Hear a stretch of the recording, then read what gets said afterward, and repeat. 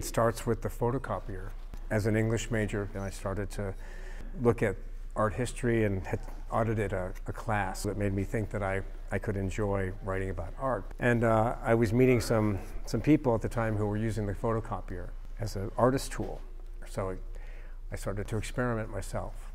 And the idea that somebody like me, untrained as an artist, could start making prints that looked finished um, right out of the machine sort of started me on a path of thinking that actually I could make stuff that was interesting to me.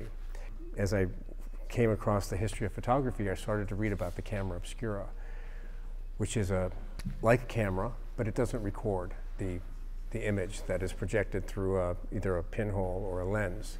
And what it does is recalibrate the values so that the, the act of watching something is of the most importance. In relation to the project here at Wheaton is the fact that even the, the word kaleidoscope can mean I am looking at something beautiful.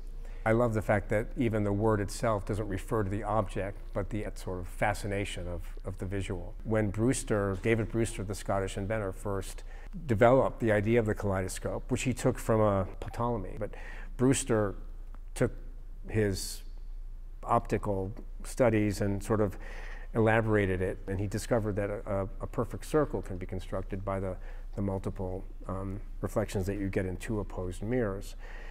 So he ended up developing a, an invention that became a, a kind of obsession with uh, uh, England at that time, and their funny cartoons. Some of them are in the in the case of people walking around with their looking at their kaleidoscopes and bumping into things on the street. When Julie approached me about doing something here, I was struck by the vast number of small, fragile, precious objects here.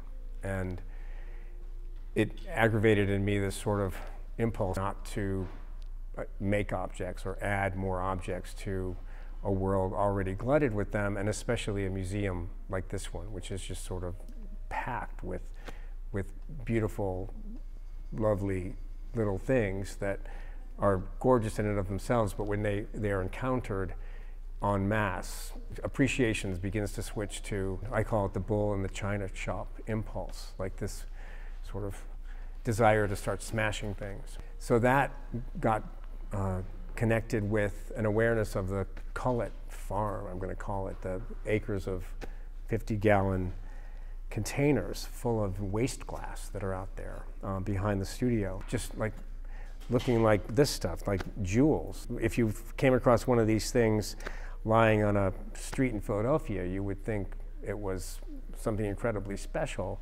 The, the idea that we're just taking the stuff that even here, uh, you can have so many different feelings about it. Uh, uh, something like a, a, drinking glass that, I mean, really has no chance of ever serving anyone again.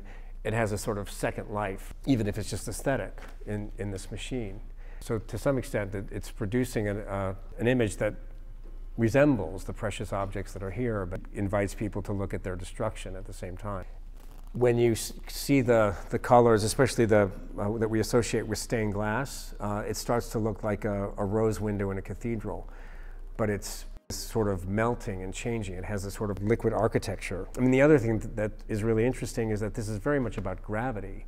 Um, even when the, the machine is turning very, very slowly, every once in a while, something will, gravity will grab something and, and just pull it down very quickly, very you know, contrary to the sort of slow motion of the of the machine. And my first thought was to laugh because it was just so funny to hear the sound of, of glass breaking in a place like this. The the way that Wheaton and and the staff here has trusted this uh, impulse um, or this little kind of Im imaginary um, uh, vision of turning this stuff into a kaleidoscope has been really uh, exciting for, for me. And I think it's, it's been really fun watching people enjoy the process too. Because this, this is a room inside this museum and it's become a studio. I mean, look, look at this mess we've made here.